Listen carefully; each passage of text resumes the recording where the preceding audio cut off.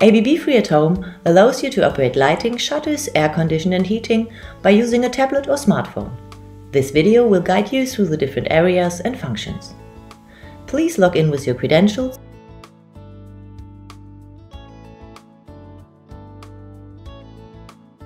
you're now in the home area, where you can find the current status of your different devices and your favorites. The matrix provides an overview of your entire building. You can navigate through the floors in the upper navigation and switch between the floor, the room and the type view in the upper right. Choose the desired floor and use the light bulb icon to control light.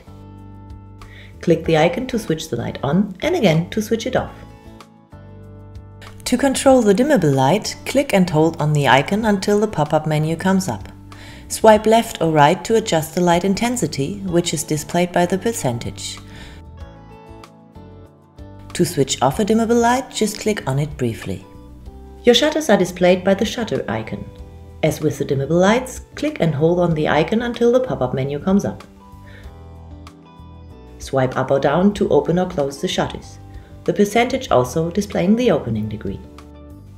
The slider at the bottom changes the lamella angle.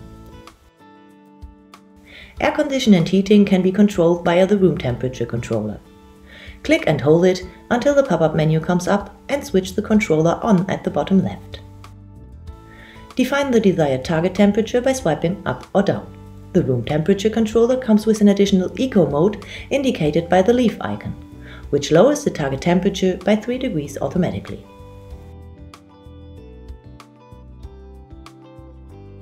The different scenes and associated devices are controlled by the clapperboard icon. It's the standard icon for scenes and can be customized. To start a scene, just click on the icon.